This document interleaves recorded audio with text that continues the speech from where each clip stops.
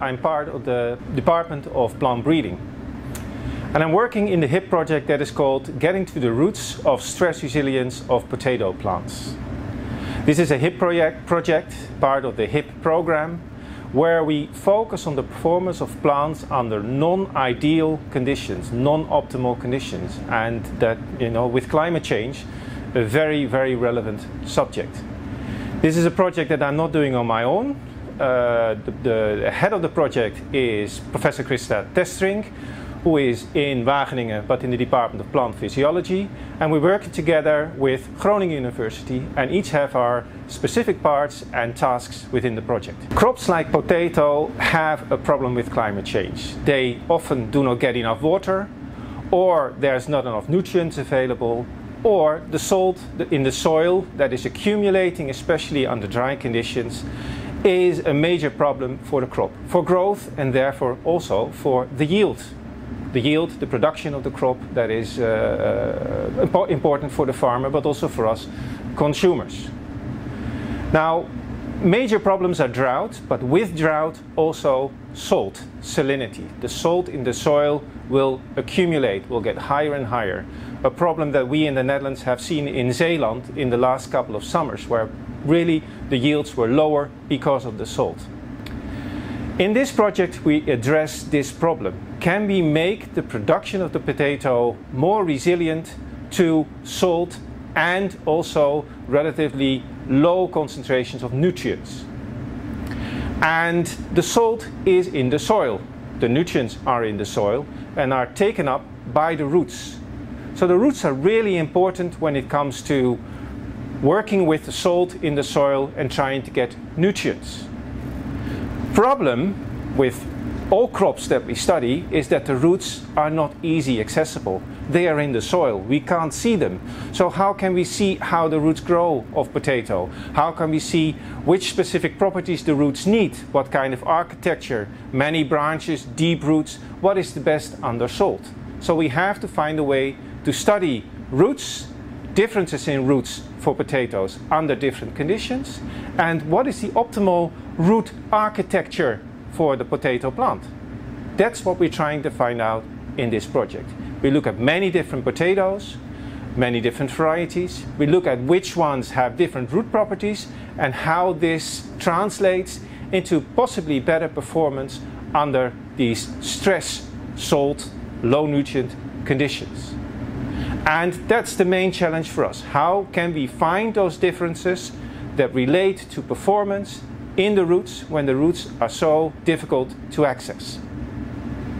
One way of accessing the roots is by not growing the plants in the soil, but growing them in water, which is much easier to access.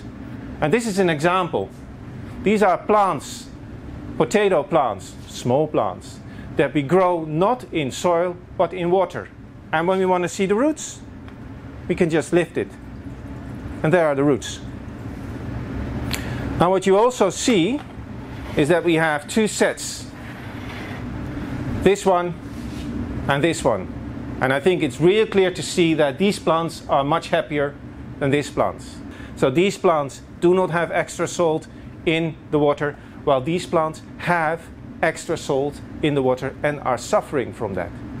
You can also see that we have plants that are suffering more to the right and plants that seem to do a little bit better. These are also different varieties. So from this little lab experiment we can already see that these plants may have properties that allow them to grow better and have less of a problem with the salt than these other varieties. So this is a variety that would be interesting to study to take a look at the roots. Do they have a different structure? Do they have different uptake properties of the salt and of the water? And would this influence their growth behavior, not just in this lab situation, but also in the field? Because, of course, potato is, gr is grown in the field and is harvested in the field. So we need to translate the results that we get from the lab to the field.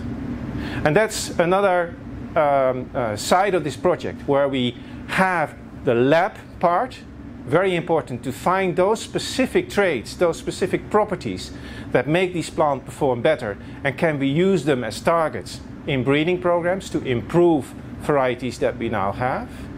But can we also translate that to is it not just happening here, but is this variety also better when we grow it in the field?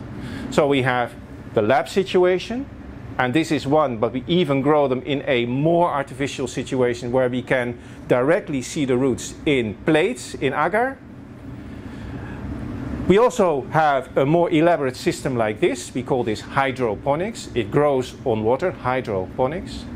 And this is salt, but we do the same thing for plants that grow with not the optimal amount of nutrients, not the optimal amount of nitrogen.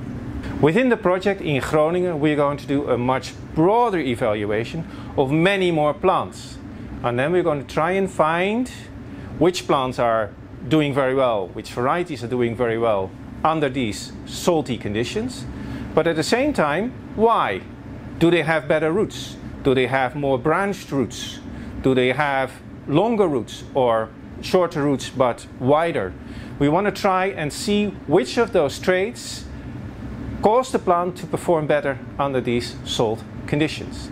And then these plants will also be transferred to the field to see whether in the field the same holds true.